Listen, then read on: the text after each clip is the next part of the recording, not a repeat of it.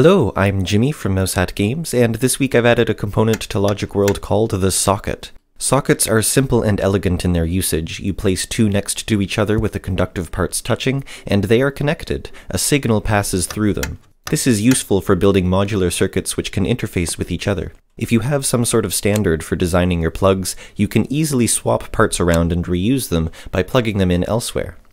Like many components in Logic World, sockets have additional placing positions when you hold down the mod key. By doing this, you can place three sockets in an individual grid cell, making for some very data-dense interfacing. If you need even data-denser interfacing, there is also a version of the socket that goes through boards. With it, you can easily create lovely two-dimensional plugs and interfaces.